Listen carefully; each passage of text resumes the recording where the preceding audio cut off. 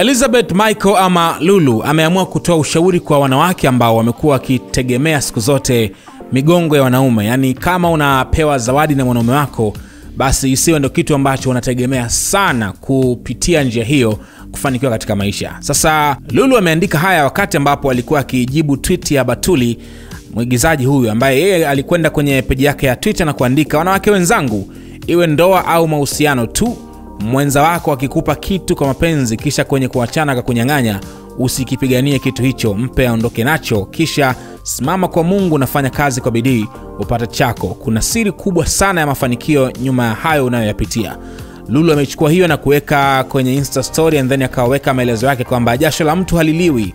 Wahenga sio mazwazwa walimaanisha kwenye kila eneo. Pambana kuwa na chako hata kama kidogo.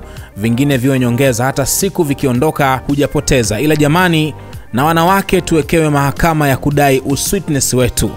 Uh, so hapa ametania kidogo. Lakini pointi yake kubwa hapa ni kuwaasa watoto wa kike kwamba wapambane kwa namna yao wapambane kutafuta vitu vya kwao na sio kuanza kutegemea vitu vya kupewa na wanaume ama mali za kutoka kwa wanaume. Unafahamu lulu ameolewa lakini yeye binafsi tunafahamu ana nyumba kadhaa ambazo anazimiliki hapa da. Kwa hiyo ni mfano mzuri kwa hiki ambacho anakiongea. Yeye mwenyewe amekuwa akijitahidi sana kutengeneza mali zake mwenyewe bila kutegemea mwanaume. Na kwa tafsiri nyingine ni kuwa inaonekana kuwa majizo hajamlea lulu katika mazingira hayo ya kumdekeza pengine kumpampa vitu.